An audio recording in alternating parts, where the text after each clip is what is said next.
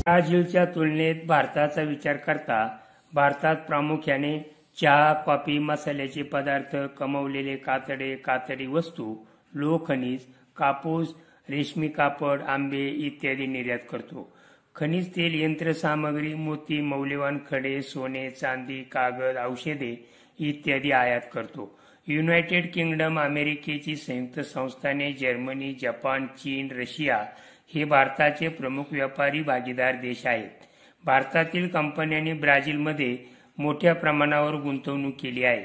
त्यात माहिती तंत्रज्ञान औषध उत्पादन ऊर्जा शेती व्यवसाय खाणकाम अभियांत्रिकी व वाहन क्षेत्रात गुंतवणूक केली आहे.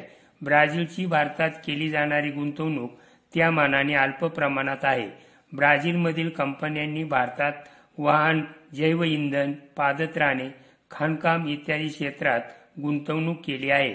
ब्रिक्स या लघु रूपाचा अर्थ ब्राझील रशिया इंडिया चीन आणि साऊथ आफ्रिका असा होतो. या संघटनेची स्थापना दोन हजार एकमध्ये झाली. त्या संघटनेचे उद्देश निधी गोळा करणे परस्परातील आर्थिक सहकार्य वाढवणे व आर्थिक सुरक्षितता मजबूत करणे.